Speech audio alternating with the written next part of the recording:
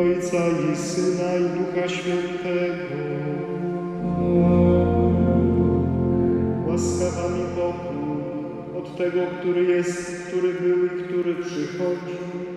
Niech będą z wami wszystkimi. Z duchami Pan Bóg zbawienia każdego człowieka, wszystkich ludzi, to On przez swoją mękę, śmierć i zmartwychwstanie odkupił nas z naszych win i z naszych grzechów. Gromadzimy się w tej świątyni, aby ponowić na ołtarzu ofiarę Jezusa Chrystusa i modlić się za naszego zmarłego brata Lecha, wypraszając dla niego Boże miłosierdzie i wieczny odpoczynek. Ale chciałbym wszystkich Was tutaj obecnych zachęcić do stanięcia w takiej postawie dziękczynienia za dar Jego życia. Bo każdy z Was, jak tutaj jesteśmy, każdy z nas coś od Niego otrzymał. Czasami dobre słowo, ale też wychowanie, troskę, miłość, jakikolwiek dar. Każdy z nas coś otrzymał. Niech więc ta msza święta będzie wyrazem naszej wdzięczności za Jego życie. Otaczamy też naszą modlitwą wszystkich, których ta śmierć tak nagła wywołuje cierpienie i ból. Niech dobry Bóg ukoi nasze serca i wlewa w nie nadzieję płynącą z naszej wiary. Na początku tej mszy świętej uznajmy przed Bogiem nasze grzechy, słabości, zaniedbania w czynieniu dobra. Prośmy o przebaczenie, abyśmy mogli godnie uczestniczyć w tej mszy świętej. Gdyby ktoś chciał skorzystać z sakramentu,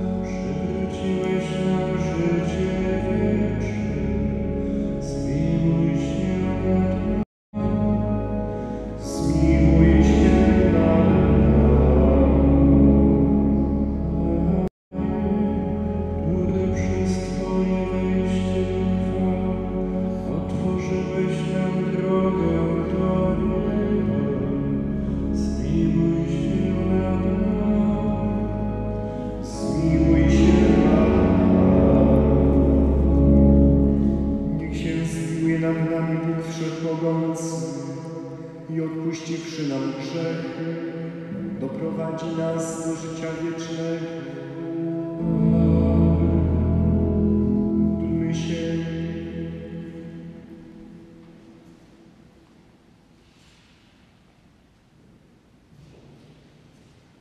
Boże, Ty przebaczasz grzesznikom i dajesz wieczną radość świętym. Wyzwól z więzów śmierci Twojego sługę Lecha, w którego pogrzebie uczestniczy. Daj mu udział w wieczności i wiecznej radości z Twoimi wybranymi spraw, aby w dniu zmartwychwstania mógł się wpatrywać w Twoje oblicze. Przez naszego Pana Jezusa Chrystusa, Twojego Syna, który z Tobą żyje i króluje w jedności Ducha Świętego. Bóg przez wszystkie wieki wieków.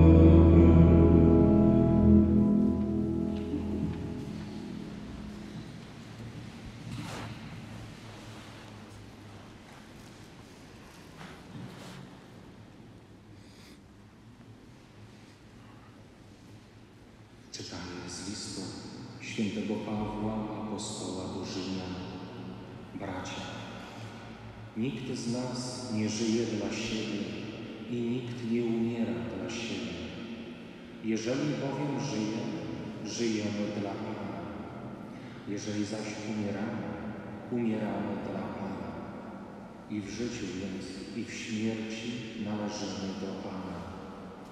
Po to bowiem Chrystus umarł i powrócił do życia, by zapanować tak nad umarłymi, jak nad żywymi. Wszyscy przecież staniemy przed Trybunałem Boga. Napisane jest bowiem, na moje życie, mówi Pan, przede mną klęknie wszelkie kolano, a każdy język wielbić będzie Boga. Tak więc każdy z nas o sobie samym zda sprawę Bogu. Oto Słowo Boże. Oh.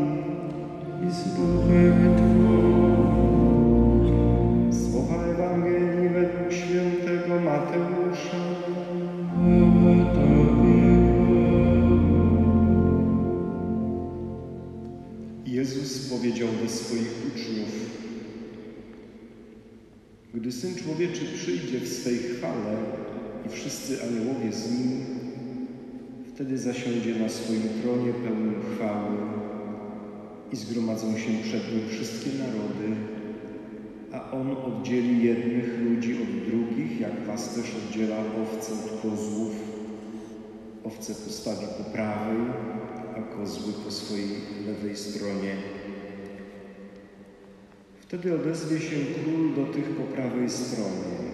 Pójdźcie błogosławieni Ojca mojego, weźcie w posiadanie królestwo przygotowane wam od założenia świata.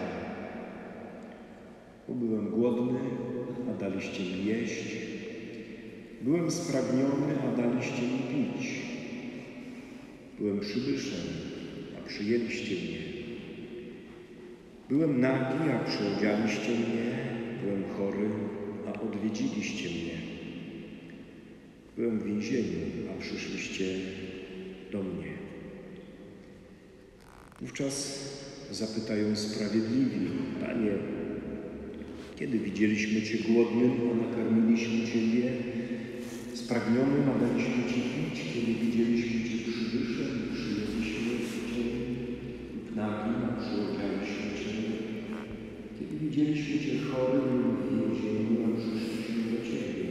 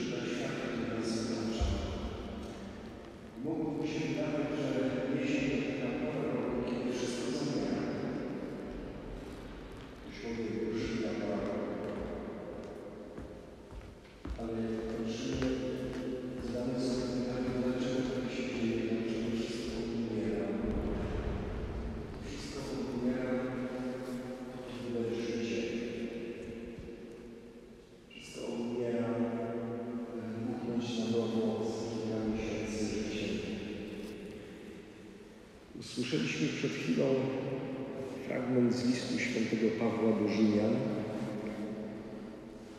który przypomniał nam taką prawdę, może na co dzień przez nas, przez nas pomnianą, w jednym zdaniu. Nikt z nas nie żyje dla siebie i nikt nie umiera dla siebie. Świat, który nas otacza, w tym świecie pięknym, który często podziwiamy, nic nie istnieje dla samego siebie. Wszystko w świecie istnieje dla życia, dla przekazywania, dla dawania. W świecie przyrody nic nie istnieje dla siebie. I kiedy patrzymy na życie świętej pamięci Lecha, to tak spróbujmy podpatrzeć na jego życie. Nie żył dla siebie. I to życie jego zaowocowało. Rodziną, dziećmi, wnukami, ale też owocowało w tym wymiarze również społecznym, zaangażowany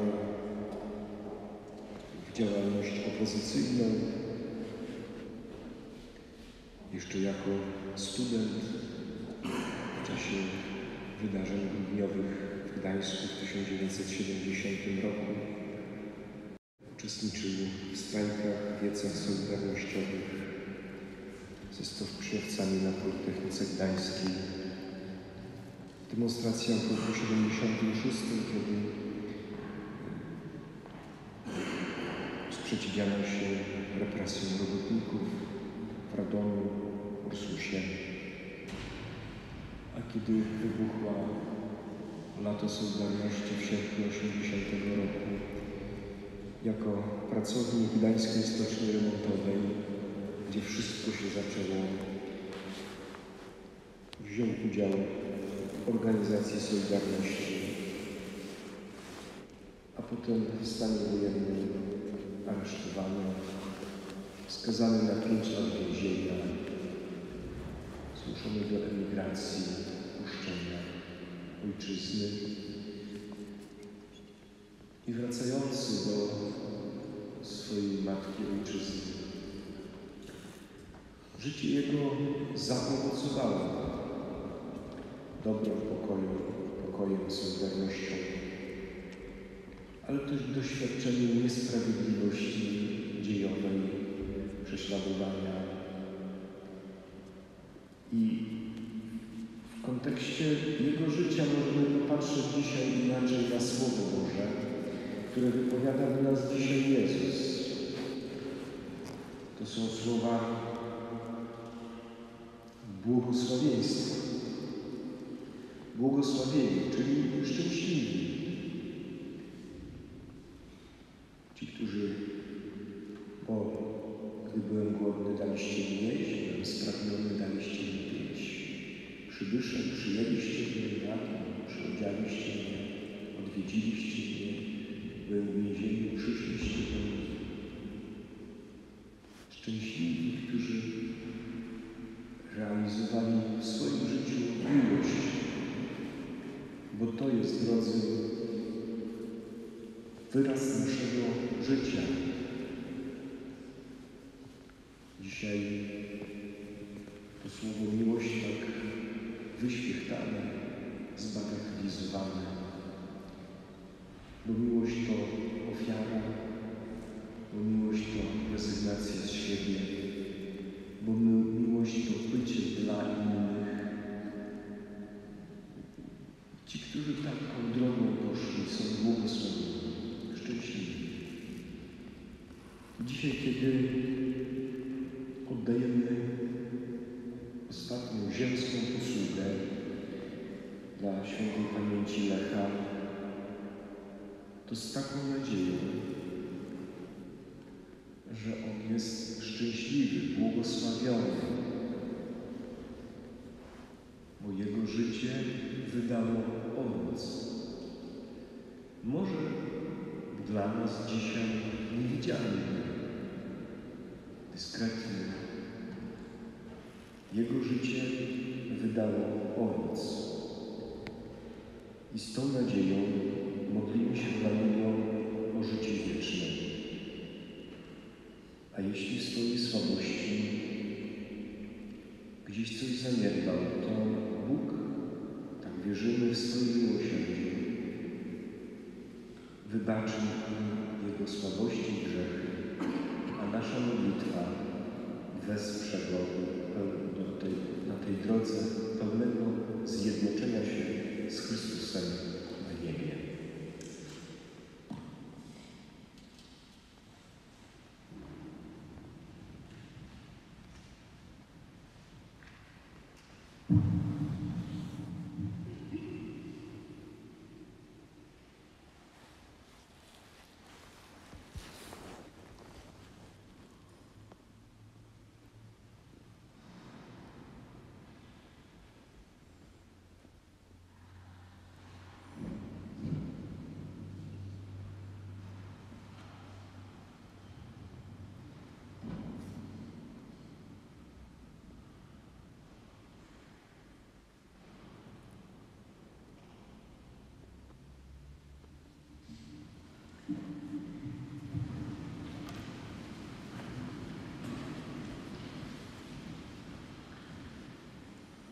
Pogłożenie bólu po śmierci naszego brata Lecha przedstawmy Zbawicielowi płynące z głębi serca nasze pokorne prośby. Panie Jezu, umocnij wiarę ochrzczonych w Twoje miłosierdzie i przywracające łaskę uświęcającą odpuszczenie grzechu, którego udzielasz przez posługę kapłanów w sakramencie pokuty, świętości. Wysłuchaj nas, Panie. Panie Jezu, uwolnij mu zamieszkać w mieszkaniu, które z miłością przygotowałeś dla niego w domu Ojca Niebieskiego. Ciebie prosimy. Wysłuchaj nas, Panie. Panie Jezu, pociesz dotkniętych smutkiem krewnych i przyjaciół zmarłego Lecha i odnów w nich nadzieję na przyszłe spotkanie w niebie. Ciebie prosimy. Wysłuchaj nas, Panie. Panie Jezu, skrusz serca grzeszników i będących z dala od Ciebie i pomóż im zrozumieć, jak dobrze korzystać z daru życia i wolności, których udzieliłeś każdemu człowiekowi. Ciebie prosimy. Wysłuchaj nas, Panie. Panie Jezu, otwórz bramy nieba dla naszych bliskich zmarłych i przyjmij ich. Wysłuchaj nas, Panie. Panie Jezu, wskaż i naucz nas oczekiwać z radością na spotkanie z Tobą w godzinie naszej śmierci. Ciebie prosimy. Wysłuchaj nas, Panie. Zbawicielu wszystkich ludzi, dziękujemy Ci za dzieło naszego odkupienia. Niech jego owoce oczyszczą naszego zmarłego brata Lecha z grzechów, aby mógł żyć z Tobą na wieki, który żyjesz i królujesz na wieki wieków.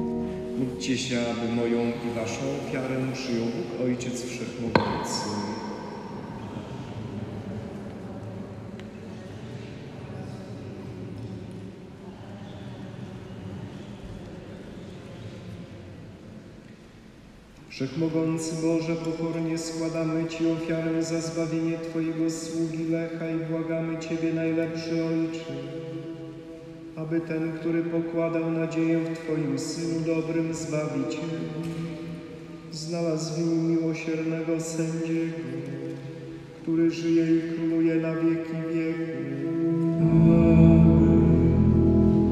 Pan z Wami. I z duchem Twoim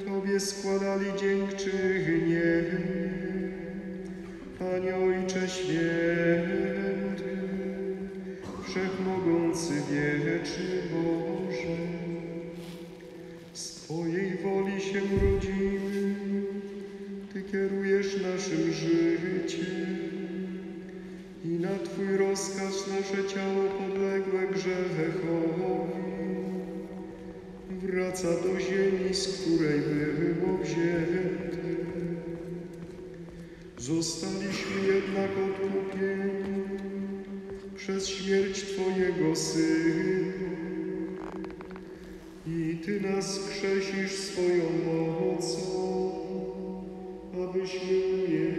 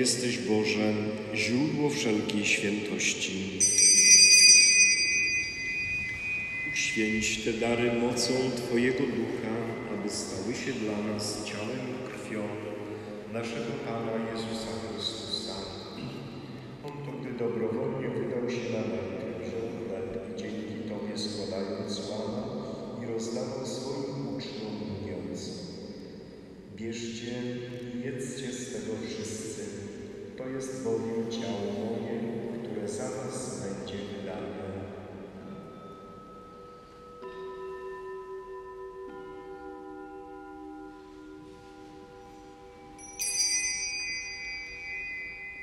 Podobnie po wieczerzy wziął kielich i ponownie dzięki Tobie składając podał swoim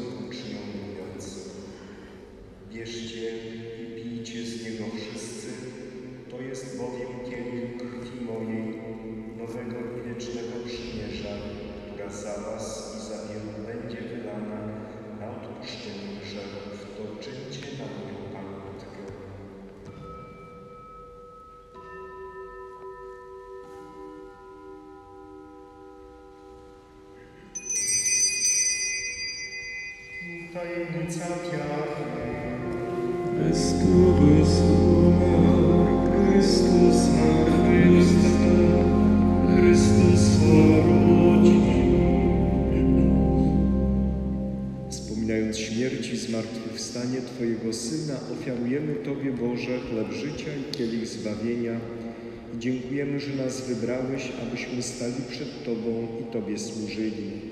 Pokornie błagamy, aby Duch Święty zjednoczył nas wszystkich, przyjmujących ciało i krew Chrystusa. Pamiętaj, Boże, o Twoim Kościele na całej ziemi.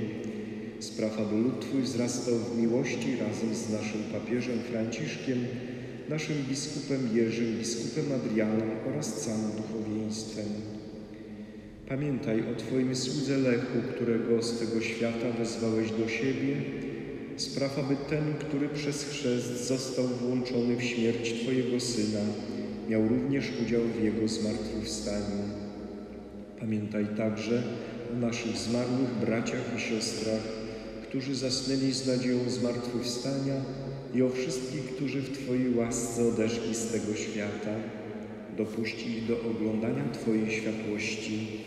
Prosimy Cię, zmiłuj się nad nami wszystkimi i daj nam udział w życiu wiecznym z Najświętszą Boga Rodzicą, Dziewicą Maryją, ze świętym Józefem, jej oblubieńcem, ze świętymi apostołami i wszystkimi świętymi, którzy w ciągu wieków podobali się Tobie, abyśmy z nimi wychwalali Ciebie przez Twojego Syna, Jezusa Chrystusa.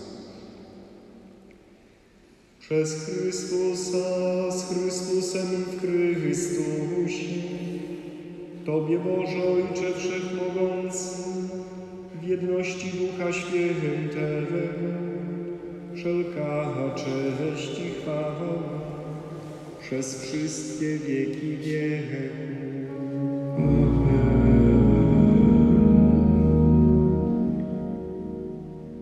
Módlmy się do Ojca Niebieskiego, jak nas nauczył Jezus Chrystus.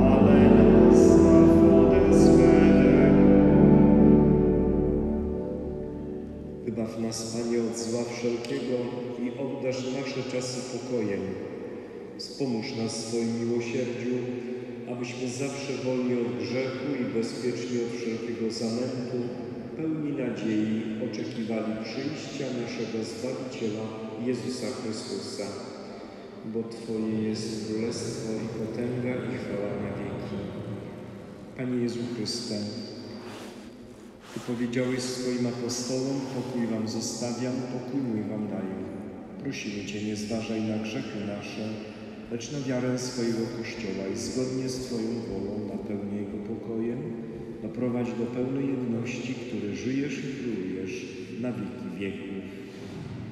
Pokój Pański niech zawsze będzie z Wami.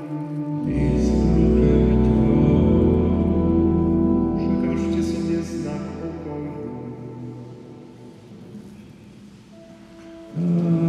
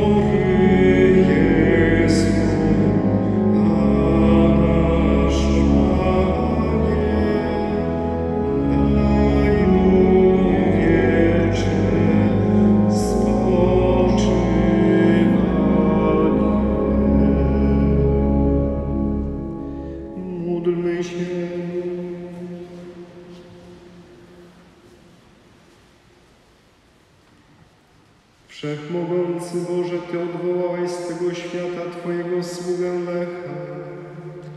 Przez tę ofiarę oczyść go z grzechów i daj mu udział w wiecznej radości zmartwychwstania. Przez Chrystusa Pana naszego. Pożegnajmy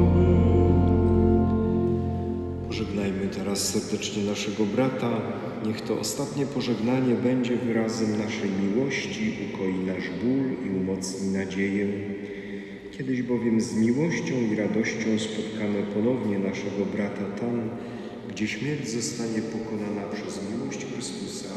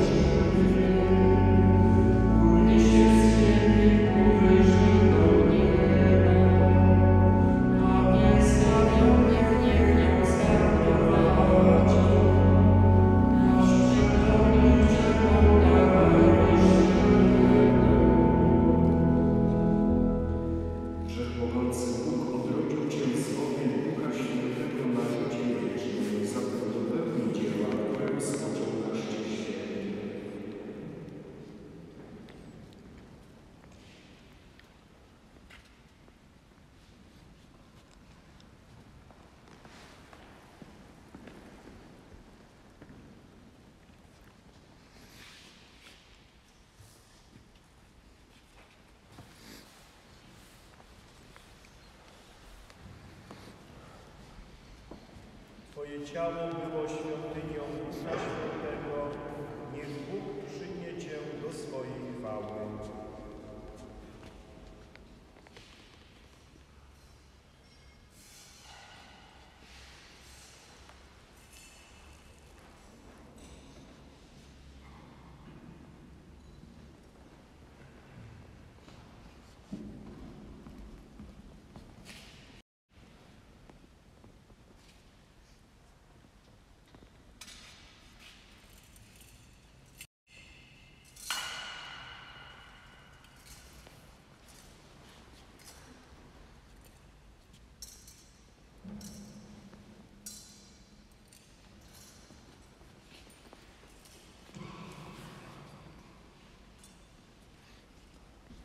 Tobie, Boże, polecamy naszych brat Lecha i prosimy Cię, Boże, Ojcze pełen miłosierdzia, odpuść Boże, które popełnił z ludzkiej umności, aby umarły dla świata, się dla Ciebie przez Chrystusa Pana